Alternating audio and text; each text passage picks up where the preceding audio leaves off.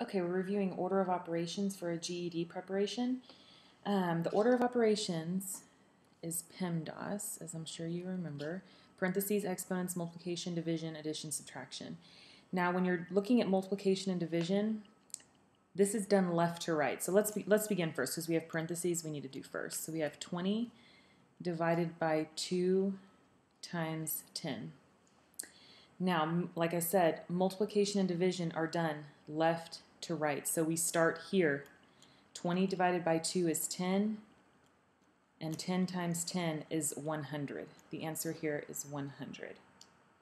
If you put this into a scientific calculator, into a T83 or 84, something like this, just as you see it like this, you will get the answer of 100. So please don't be confused in thinking that you do multiplication here first, just because m is first multiplication and division are done left to right. So if there's division first on the left, this is done first. 20 divided by 2 is 10, then 10 is multiplied by 10, getting an answer of 100.